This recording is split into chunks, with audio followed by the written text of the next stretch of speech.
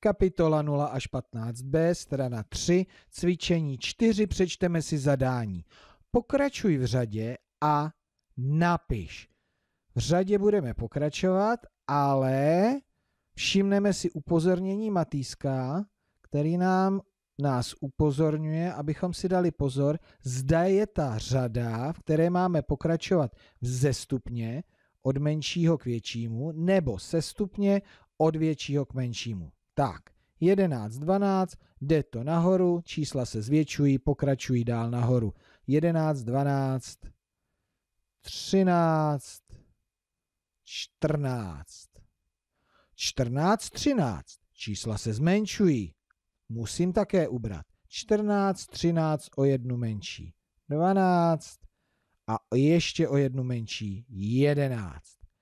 12, 14. Uprostřed mezi nimi bude určitě číslo 13. Ať to jde do kopce nebo z kopce. 12, 13, 14.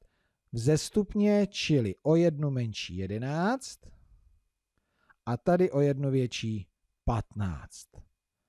Máme to správně? 11, 12, 13, 14, 15. Máme 4, 7, zase do kopce, zase vzestupně. Čili před čtyřkou trojka, 3 za 5 a mezi 5 a 7 je 6. 2, 4, no tak to už jsme se učili dávno. 1, 2, 3, 4, 5, to bylo lehké. 5, 7, prostřed je 6, o jednu menší je 4 a o jednu menší ještě je 3. Mám to správně? 3, 4, 5, 6, 7. 14, 12 a pozor, tady je to sestupně 14, 13, 12, takže tady musí být číslo v té řadě největší 15, 15, 14, 13, 12, o jednu menší 11. 13, 10, zase se stupně. Čili tady bude největší číslo v té řadě 14, 13, o jednu menší 12, o jednu menší 11 a správně vyšlo nám to 10.